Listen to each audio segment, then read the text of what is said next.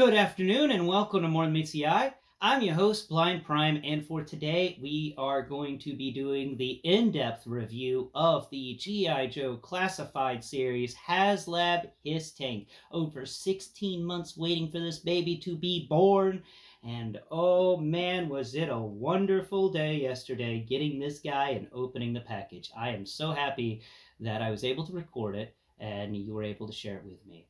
That was that was fun, that was cool, and honestly, as a person who is blind and who's only heard people describing this Hiss tank, and honestly, uh, how many people really describe things well for the blind? Because, well, they assume you're looking at the picture when they describe it, so they don't really describe much. Therefore, you know, things like this really nice detail on the treads, I didn't know I didn't know about. I didn't know about a lot of things about this figure, but I got him in the hopes that everybody else was right. Uh, this was one of those I bought it on trust kind of things. Everyone else was freaking out about it, thinking it was cool. And honestly, I like the Hiss tanks, so I thought it was really neat. Though I do wish it was the Mark II, I think it was called, where the uh, where the, the, the front of the Hiss tank actually like pops up and becomes a, a watchtower thing. That's really fun. I liked that Hiss tank a lot, and I wish I could figure out which which Hiss tank it was. But this is the big Hiss tank, and I got all of the characters on it that come with it. The Hiss Gunner, the Hiss Pilot, and the Hiss Tactician is in the back. And go off to the side there, give you a good wraparound view. Oh man, this thing is this thing is amazing. I've got two bats on the back bumper hanging on to the rail that they can hang on to because I figured, you know, what better outside personnel to have on a Hiss tank than a couple of battle android troopers, you know? So I put those guys back there. And uh, yeah, so we're going to get into this and really go in depth about, uh, I'll spin it around this way. We'll go in depth about this guy and talk about all the fun aspects of him and do some size comparisons with some 112th scale vehicles that I've shared on this channel before, especially um, the Wrecking Rig from the WWE Wrecking series. It's uh, on the floor over there, and I'll bring it up and do a size comparison uh, as soon as possible. So let's just tilt it like that. Uh, it's a, uh, I don't know if I'm getting everything in shot. Let me find my, there's my doohickey telling me where the center of the screen's at, so I can't bring it over here just a bit more. Then I can rotate the, uh, the Jeep around, the Willys 112 scale diecast Jeep. So, let's get into the review. Doing a nice little loop around of this guy. And uh, I'm actually going to get out of my seat now and do a stand-up so we can actually talk about this stuff and I can discuss things. So we got the guns here on the front. And these guns are really neat. Uh, they're they're one solid, well, they, they have a joint, but the guns don't move independently of one another, and it's a bit rubberized, which is something I'm a little sad about. I like a nice hard plastic gun, but the rubberization there will mean that this thing doesn't break as easy. Uh, I am scared of this, uh, you know, the canopy and the engine thing because both of those feel like they could break pretty easily. But all we have to do is you can actually pull this guy out. There it goes. And let's pick it up just a bit. Okay, so I don't know if you can see, but there's a button in there. And this button goes in and pops out on a spring when you have the gun, you know, when you remove the gun. So there's no obscene hole just hanging out underneath your Hiss tank going, well, there used to be an accessory there, but it's no longer there. So that's really cool. I like that. I think that's that's really neat. You can have different ways of displaying this without worrying too much. Uh, now, coming over here, we've got this wonderful front area that's that's got some little details in it, but mainly it's just a place for the lights. And I have no idea which lights I'm clicking, but these are all fun lights.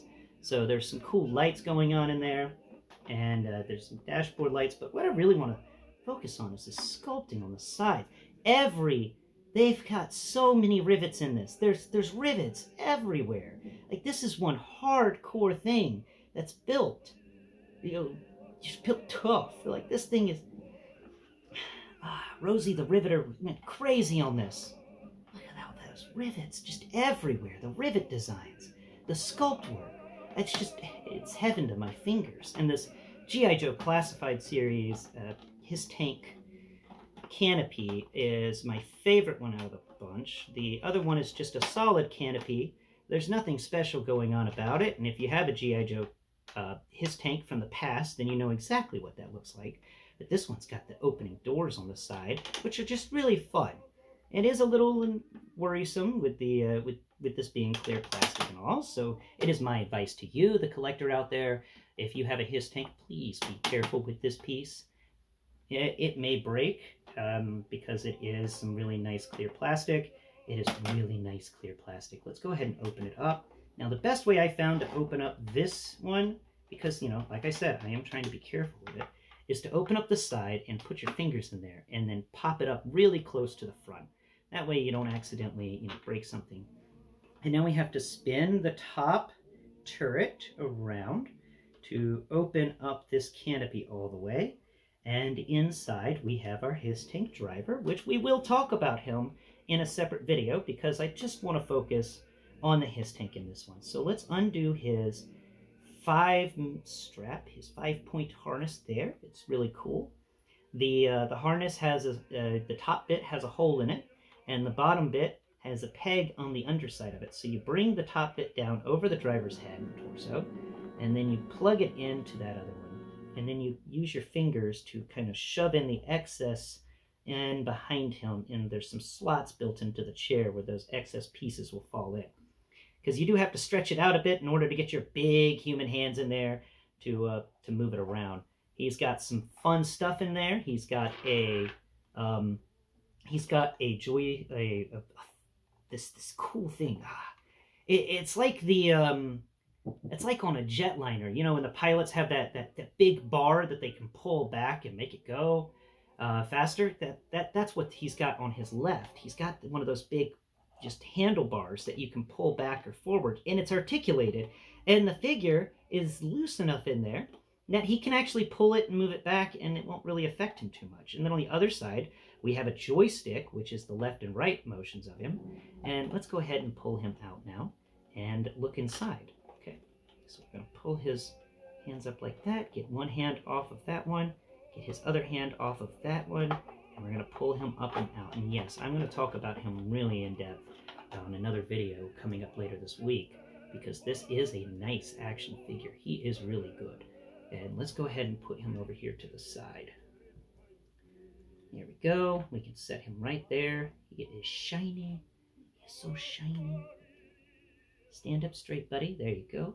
Okay, now let's do a, uh, you know, just because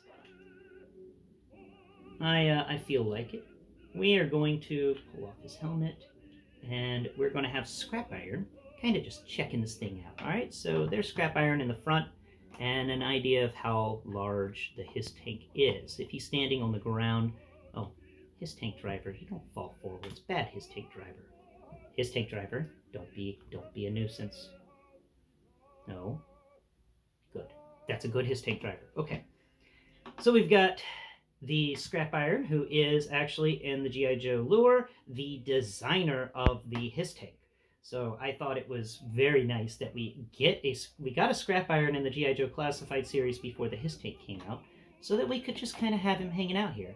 Now, let's uh let's talk a little more about the details inside this and then scrap iron can show us more stuff inside i won't be able to really show it to you too well but there's a big screen in there just a big old touch screen or something and there's all of these little panels and textures going on there's not it's minimalistic on the textures but that's because these are supposed to be a bunch of big panels and i assume they have some printing on them and stuff and um, when you hit the button you, uh, let's see, let me turn that just a bit more. There it goes. When you hit the button for the bottom bit, you can actually turn on those interior lights, I think. I'm pretty sure my roommate said you can. That's really cool. I like the seat here. They've got some really excellent leather sculpt texture going on in the seat. Like this guy sits in a nice leather seat. It's big, it's broad, it leans back. This is a comfy, comfy seat it's a wrinkles. They got so many wrinkles in the bottom of that seat. Like this thing has been sat in for a while. That's cool. They didn't have to put so many wrinkles in.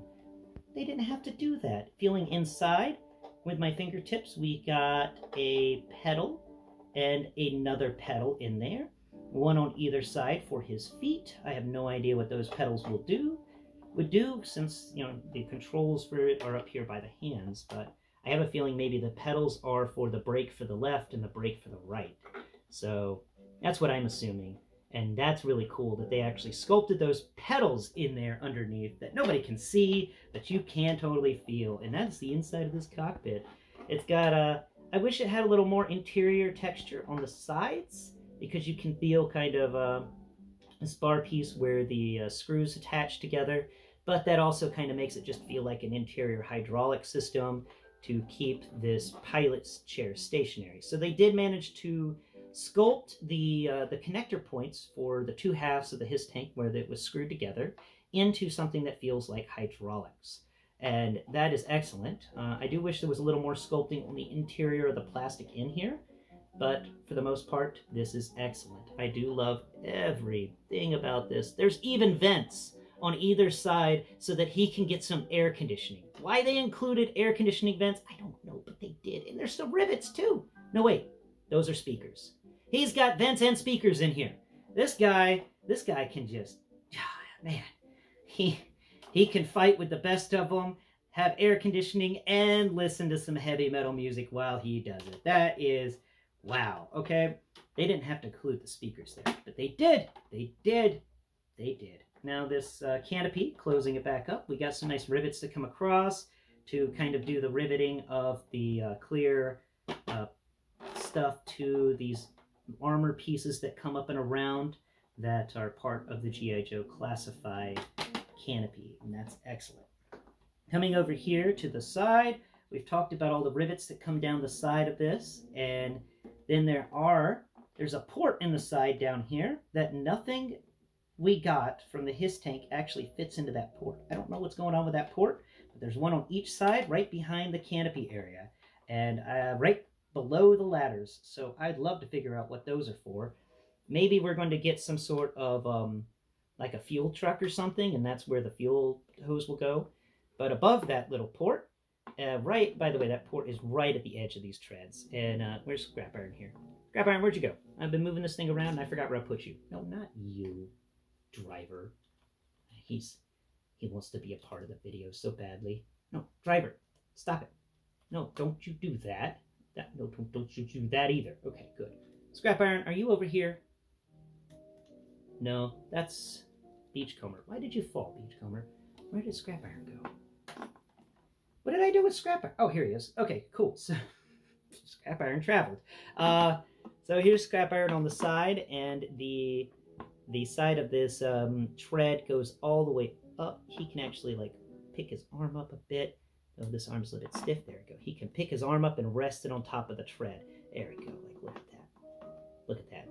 He's posing for the picture with the new tread, uh, with the new tank. I like that. hey, mom, look at me. so that's cool. Um, let's set him over here. There you go. Sit next to the driver and don't knock him over. Okay. Now we come over here to the treads, and we've got this really fun G.I. Joe Classified series uh, side of the tread. They did include the retro original side of the tread, but that's just a flat piece of metal with very minimalistic sculpting done in it. And honestly, this new this this tread for the GI Joe Classified series is more fun for the fingertips. So I like it more. I like these really fun cuts in the front for like speed, I guess. And it's got these rivets everywhere. They went to town on these and they spaced them out so perfectly. My God who does who spent the time to actually put in every individual one of these rivets into the original design? Wow thumbs up to you engineer. Thumbs up to you. That was cool. You didn't have to do that so well but you did. Now this thing does come off and i knocked over really? You knocked over the the driver as well oh man when i knock something over i knock stuff over you know it's it's a it it it's a gift it's a gift. Come here. Okay, You stand over here. Don't you don't you do more stuff, okay? Talking to people. All right, I'm not able to get this thing off right now. Uh, I put it on there really. Oh, there it goes. Okay, so taking it off, we get these We get these wheels that they actually did spend the time to sculpt, even though they would be covered by the tread piece, by the tread cover. Each one of these wheels is still very well sculpted, and that's nice. So we're gonna put the tread cover back on and knock off uh, a missile. All right, so the tread cover back on. There's the tread cover. Come on. There it goes. There it is. Nice. And let's put the missile back. And that just brings us to talk about the missiles. We talked about the missiles a bit yesterday during the box opening. And uh, we're going to talk about a bit more now. I don't like these missiles as much as I thought I would. And I think it's because they're hollow plastic and we were just spoiled by the scrap iron and anti-armor drone here. There's the anti-armor drone missile. It's made of some heavy-duty rubberized plastic. It feels heavier in the hand. It feels, you know, weighty and it's nice. it's got a nice feel to it. It's got a nice weight to it. This one is really well sculpted. It's got some great sculpt, but it's missing the weight that makes it feel really amazing, and that's a shame. And this is where the negative comes in. One of the negatives I have on this guy. This port in the back they could have designed it like they designed the port in the back of the anti-armor drone. You have that little point there that you can plug blast effects into. And I thought, like everybody else thought, when we got the scrap iron and anti-armor drone, those blast effects would be able to be used with the missiles that came with the Hiss tank. And we were all wrong. We were all completely wrong about that. And I don't like that I was wrong about that. And I don't like that they didn't do that. It was so simple to do. You already had it all there. You hadn't even designed scrap iron and the anti-armor drone before you designed the Hiss tank. So you have no excuse on this one. No excuse at all. There is only a couple of guns that uh, current blast effects fit into, and we're going to talk about that real quick. We're going to bring that up because I just want to get it out of the way. Okay, the two guns that blast effects fit into are these really big machine gun things on either side of the turret. There's one on each side of the turret, and they're anti-personnel machine guns. And they have these giant uh, canisters of ammunition. Remember I couldn't figure out where those were on the box opening? They fit into these, these big guns, these big miniguns on either side of the cannons for the Hiss tank. And those are the only things that blast effects fit into. The Hiss tank guns here these guns are slightly too large for traditional blast effects. Even, this is the one that got me the most, ladies and gentlemen. Ah, nuts, I just knocked over somebody. Alright, let's see. There it is. Okay, so this one's the one that, that, that actually kind of upset me. We got these really cool blast effects in the um, in the Steel Corps Troopers 2-pack for their uh, fire, you know, their uh, their uh, jetpacks, and I thought, like a lot of other people thought, that those blast effects would be able to be used with the HISS tank because they're a little too big for guns. Like for instance, let's just okay. Let's see, All right, and there's a gun. Okay, so see, there's this gun here, and we could try and put it into one of those ports, but it is too large for these ports. Like, uh, it actually can fit into those ports. My bad. It, it does, but it's a very weak connection. No, wait, it's really pretty strong, but I don't like it. I don't like how heavy it, it weighs, but that does that is something you can do. You can put the jetpack effect from uh, from your Steel Corps Troopers 2-pack into the miniguns on the side, but the jetpack effect is too small for these guns. It is too small for this uh, Spin these around. Spin you around a bit. It's too small for the guns on the nose either. Look at that. Boom. Nose guns. Let go. It falls out. That's... That doesn't make any sense to me. Why are you going to do this? You know... And another further thing that upset me was that these don't work with the, the Transformers blast effects. They're too small for Transformers. They're too large for G.I. Joe. And the missiles are well, the missile ends are actually too large to put the other end of those blast effects into. So only two things in this entire thing, weapon-wise, actually work with current G.I. Joe blast effects. Nothing else works with current G.I. Joe blast effects on this.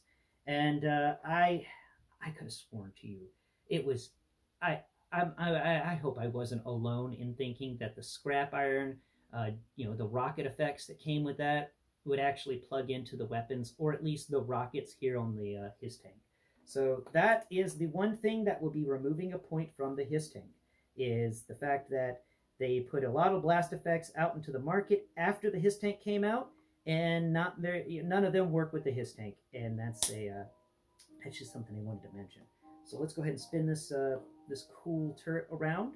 We just finished talking about the treads. We talked about these rockets. By the way, there's two, four, six rockets on each side. Fun part about the rockets is that the um, there's a little pole that extends so the rocket can get a little more range, you know, a little further away from the Hiss tank, which is really cool. You don't want that back uh, flow from the rocket, the jet propulsion from it, actually like staining your Hiss tank.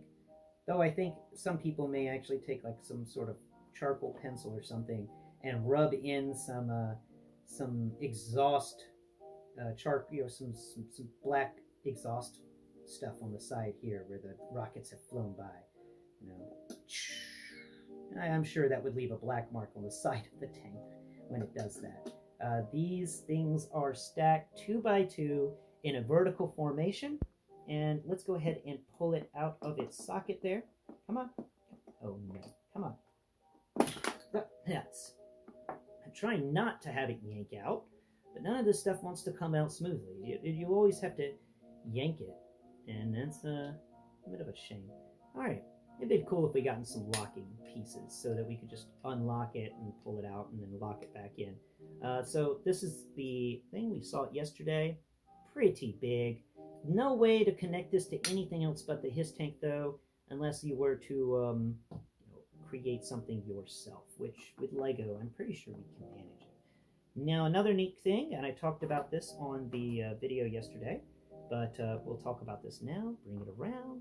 Make sure we lined up. There it is. All right, so this, it's got this cool, like, manhole cover that folds down over the socket that the missiles plug into, and that's neat. And furthermore, it's got it's got rivets in it it's got sculpted rivets. It's just a piece of plastic that folds down, and they still took the time to sculpt into it. My fingers love this thing. Okay, now the turret. Let's get up here to the turret because the side of this tank is just more rivets in really, really intricate ways, but not really much more on the texture side. Turning the cannon around, we got these really nice cannons. Let's go ahead and bring out, uh, not you, Where's the guy that I've been doing size comparisons with for a long time? Oh yeah, I got two of them sitting on the back of the Hiss tank. So we'll just grab one of these bats. Come here. All right. We've talked about the bats and size comparisons. So if you've been a fan of my channel, you've been watching my stuff, then um, you can get a giant, a, better, a good understanding of the size of the bat compared to other things in G.I. Joe, which will allow you to better understand this when I talk to you about it. So let's go ahead and put Bat next to this gun. We'll put his foot at the bottom of it. There it is. This gun on the top of the Hiss tank is as long as the bat is tall. That's wild. That's wild right there. That is a big gun. It is a big gun, and it doesn't feel that big whenever you compare it to the rest of the Hiss tank. But when you put the the bat beside it, it gets large. That's it's just wild. I, I, I wanted to showcase that because I love these giant guns on this Hiss tank. They are fun. They are interesting. And I just dropped the Bat, why did your backpack fall off? Don't, don't do that to me. We're in the middle of a video, Bat. Don't you don't you play those games. All right. So let's spin this back around. These guns have some minimalistic texturing on the bottoms and very smooth coming up here to the front where it's got the vents cut into it around the edges so that the uh, the backflow from the projectile can expand around and uh, make a nice little muzzle flash. Okay, Coming in here, we've got the Hiss tank gunner. She's in the gunner seat here. Let's go ahead and peel her hands away from these handles and pull her out. She's an excellent figure. We're going to talk about her later this week as well. I'm going to go ahead and knock over the gunner again. Put the hit, I mean the driver. Put the gunner next to the driver. Uh, gunner, are you going to fall over too? You're going to fall over too. All right. Sentinel, don't you let go of that light. You're my light guy. No, nuts. Both of them fell.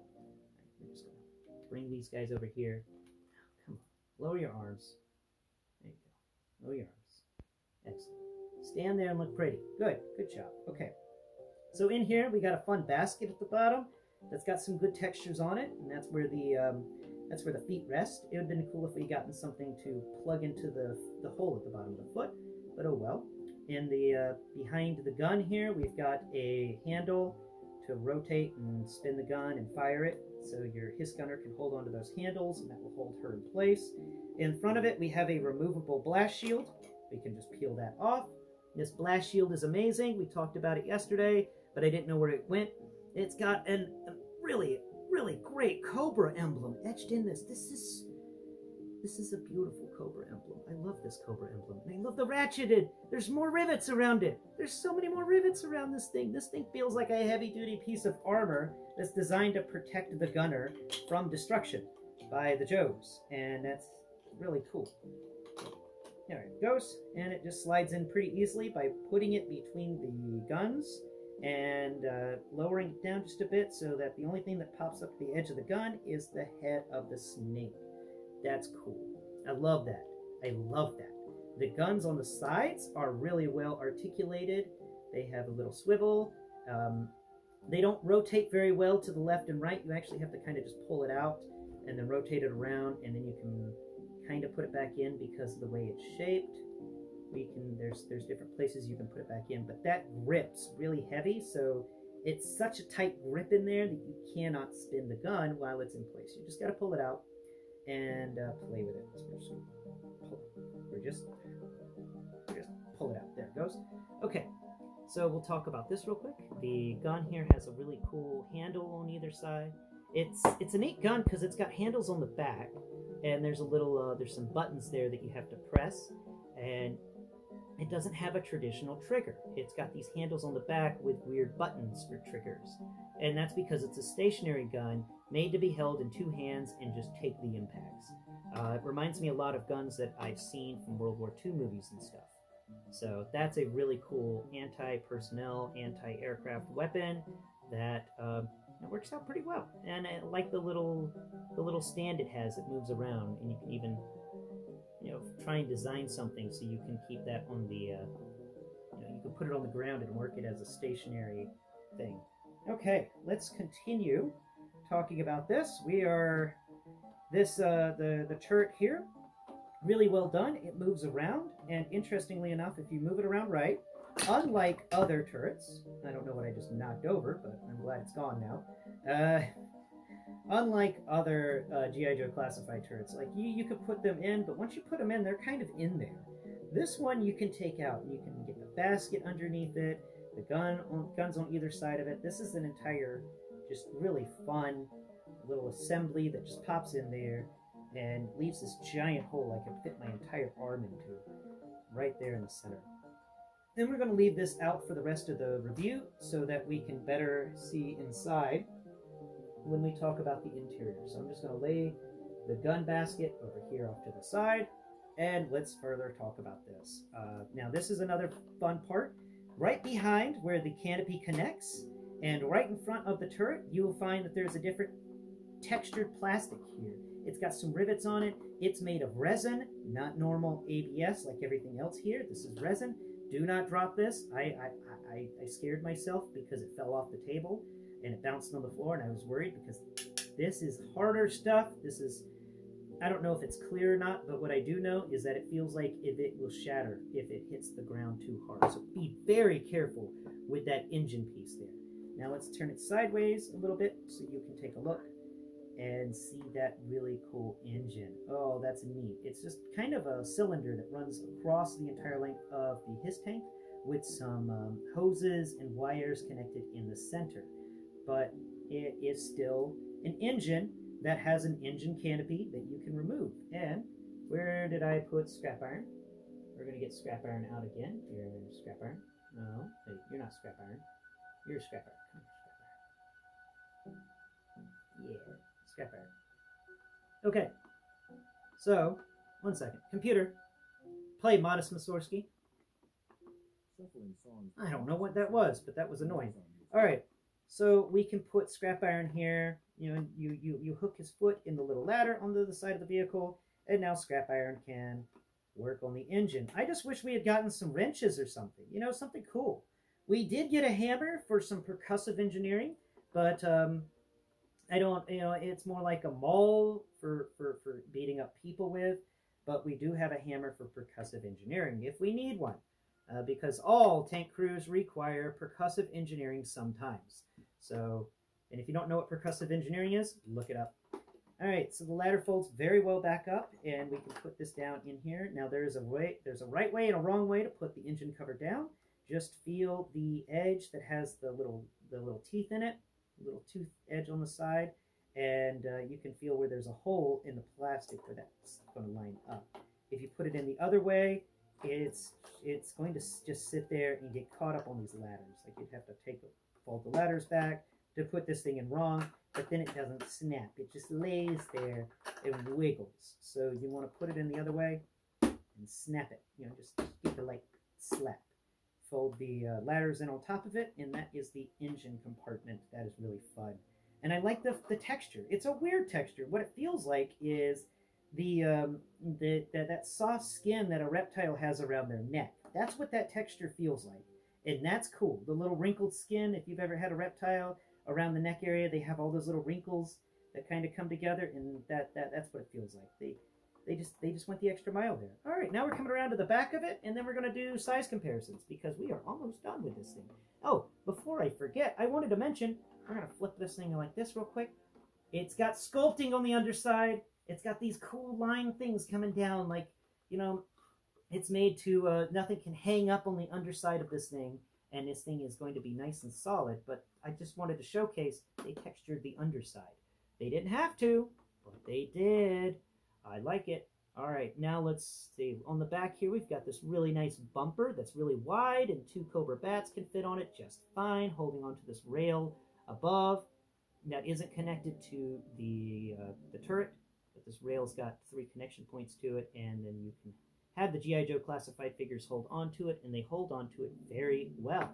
Uh, it's not a difficult chore to get them their hands on around this uh, thing. You just kind of just pop their hands on. It's uh, it's really nice. They, they they they figured out how to make a really amazing rail, and that hand pops on very easily. And that's the first time that's happened. Uh, I have had difficulty popping these hands onto anything, but this rail in the back, they designed it so that you just pop the figure's hand on, and there's, there's, there's not much effort in that. There's not much effort in that at all. Now, let's talk about my favorite part of this HISS tank. So you fold up this back cover, and below it, uh, before I get into that, we've got the hook so that uh, it can carry things. It was supposed to be a two different sized hook, but I don't I don't get what they're talking about. Maybe the hole there is supposed to be the other size, uh, and then there's a little like uh, hook there. I don't know, but uh, it does fold up nicely, and it does sort of kind of feel like a snake. Now, we're going to come over here, and we're going to finish this up by opening the back compartment and folding it down. Ah, oh, it's like a little ramp. It's so cool. I love the little ramp that comes down, and of course something had to fall over. Why, you know, why not? Something's always falling over on my videos. I can never keep these guys from falling over. All right. Just, just stand over there, guys. Okay, nuts, don't fall, don't fall. Stop it. Okay, so in here I have the HISS Tactician, and he's playing on the tablet that came with Scrap Iron. I do wish that they had given him a tablet so that he could have it inside while playing with it, but luckily we've got one from Scrap Iron. And we're just going to lay him down over here with the other guys. He's just going to kind of fall on the ground, and it's okay. We're not, we're not going to worry about it. Not going to lose Scrap Iron's thing. You're just going to set those guys over there for now and uh, knock that off. Another another missile. Just, just go ahead and knock that off. All right, the missile back Always putting these missiles back on. You'd think with all their love of rubber, with um, with all of the weapons they've been giving us, the squishy, bendy weapons, they would given us rubberized missiles that would stick onto those connection points better than these hard plastic missiles do. They're not even resonated and they don't even feel like they're made out of the same ABS plastic as everything else. They, they, they feel a little cheap. I'm going to be straight with you. Those missiles feel cheap. Now, in here, we've got the shovel in its own little compartment. The shovel came with gunner, and uh, the hammer came with gunner, but they, they gave us these cool places where they sit, and also there is a weapons rack in here for every one of the weapons that came with the figures. There's an amazing little chair in here off to the side that the tactician can sit in, and that's another detail they gave us. That chair has an entire Cobra emblem molded into the back of it. They didn't have to mold that into the back of it, but they did. And then the floor here is individual steel tiles. Like it feels like a steel floor of a tank. They they didn't have to do that either. And then it comes in here, and I'm going to knock stuff over while feeling around. There's a rounded end to it. This thing goes deep. It feels like it's got a lot of space, and I'm just knocking stuff over. But it's all great. Let me put my hand in there to the top area. And I've just been keeping the hands in there because uh, the negative to this is they didn't give us a little compartment that would open up. I think if they had given us a compartment in here towards the end, that could just, you know, you peel it open, you could store all the spare hands in that compartment, but they didn't give us anywhere to really store the spare hands, sadly. You could put them in the basket at the uh, bottom of the turret, in the hand basket, uh, if you wanted to. But then this piece just, uh, let's see, any more textures I missed in here? No, the wall, the back wall is textured, by the way. The back wall is textured. I just, I just wanted to admit, let you know about that. I, uh, I found that to be really fun. And there's an area that's kind of like a little cubby on the side. Is there a cubby on this side too? No, they straightened that one out. There's no cubby on this side, but there is a cubby on this side, and it falls all the way down, and I think that's a good place where we can store fists. So let's get this one. No, I don't want to get gunner's fists. Let's, let's grab it. Come on, grab, grab, grab, grab the little hand. Okay, so we're just gonna I'm just going to see if that will go in there. Uh, I don't want to try it because it feels like it's going to be difficult to get those things out. But there is a, uh, there's like a slot cut in here that goes behind the weapons rack. So let's close this up and let's put the turret back down and let's do some final thoughts with a couple of size comparisons. And, oh, nuts. There it goes. Snap that back into place and then rotate this around until it falls into its proper socket. There it goes. It's locked in place. Let's spin you around and set you there. Not on top of whatever that was. Oh. Scrap iron. Scrap iron, just go over here. We're just going to lay scrap iron down on the ground over there. Now let's bring out scrap iron's drone first and foremost. Uh, knock over some more things while I do it. Okay, so here's scrap iron's drone and Scrap Iron's helmet. We can go ahead and put Scrap Iron's helmet back on. I just like Scrap Iron's face. He's honestly going to be in the top 10 of the year because of that face sculpt. That is so, so well done. Okay, so set Scrap Iron there. Now here is the uh, the drone, and the drone is so it's a baby tank.